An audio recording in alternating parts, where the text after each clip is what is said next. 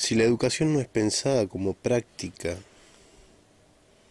de la libertad, para la libertad, no sé de qué serviría.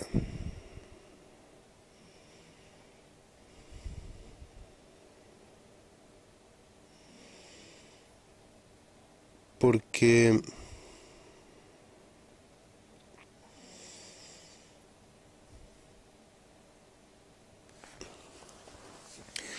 todas las demás formas de educación como instrumentos de inventario en un engranaje de esclavos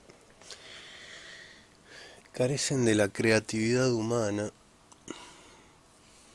y llevan una vida de insatisfacción que crea todas las pestes sociales.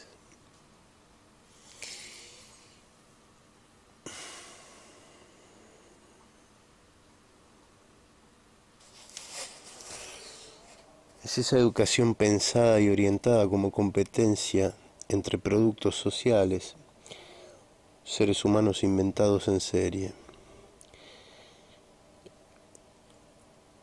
Lo que tiene el engranaje fundamental de los imperios capitalistas y practicarlo en una sociedad tercermundista que siempre estuvo en pugna por liberarse casi un suicidio.